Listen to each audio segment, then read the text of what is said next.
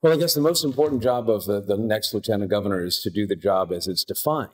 Um, the Constitution and the statutory laws governing uh, the office of lieutenant governor are pretty specific. It doesn't give you a whole lot of latitude. There are roles related to the fire commissioner, to local government, to military bases, to emergency management. Uh, and then one of the ones that I'm pretty passionate about is, is corrections. Uh, corrections reform is something that uh, has finally, I think, bridged the bipartisan divide. And Republicans and Democrats are beginning to talk about it in a serious way as an answer, perhaps, to the workforce crisis. We don't have enough workers, and we're warehousing people.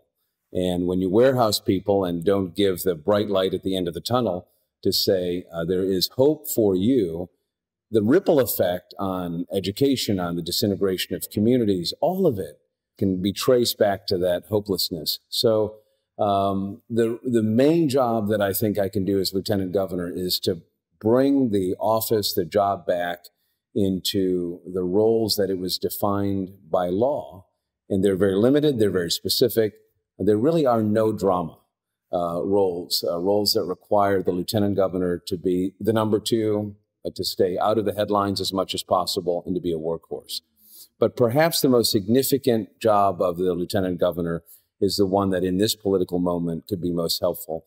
Uh, and that is maintaining civil uh, discourse and decorum uh, in the state Senate. We, we could be a model. The Pennsylvania Senate could be a model uh, to legislatures across the country for how government could actually work between a, in a divided age between Republicans and Democrats.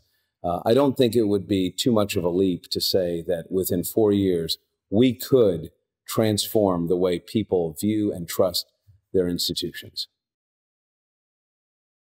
So the top priority of any lieutenant governor has to be passing the governor's agenda. And that's a significant departure, I think, from what we've seen uh, perhaps in the last four years, which um, the lieutenant governor has taken on a more activist role. His right, his choice, uh, every lieutenant governor can kind of define how they want to do the job. I want to bring it back to perhaps the late 70s and early 80s, that relationship between Dick Thornburgh and Bill Scranton.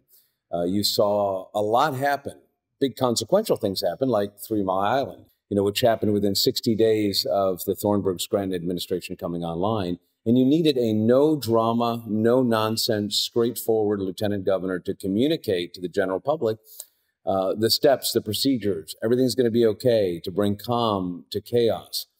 What we have in this social media environment uh, where every five seconds there seems to be a new crisis. What we have in that moment is an opportunity for people like the Lieutenant Governor of Pennsylvania uh, to begin to bring people back to what is really important, which is the functions of government. Number one job, number one priority, if I'm elected uh, Lieutenant Governor, is to pass a legislative agenda. When the Lieutenant Governor's office functions, it functions as the switchboard between the House leaders the Senate leadership, and the administration. That means you play a subordinate, almost subservient role. You don't have any agenda but to make the governor look good.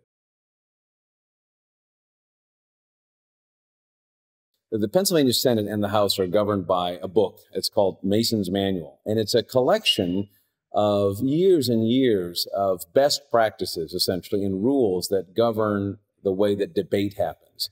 Uh, it's partially the brilliance of the founders in that the founders saw, I guess, the flawed nature of human beings. Like we're all a mess. So when we come to a particular job that's as potentially as tense as the role of representing your constituents, and you bring all these ideas to this raucous legislative set of uh, legislative bodies, the rules are so important.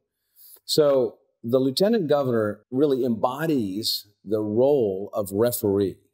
And if you can, using that Mason's manual, which by the way contains beautiful passages from someone named Thomas Jefferson, who knew how, how to get his colleagues to work and cooperate uh, against sometimes uh, competing interests.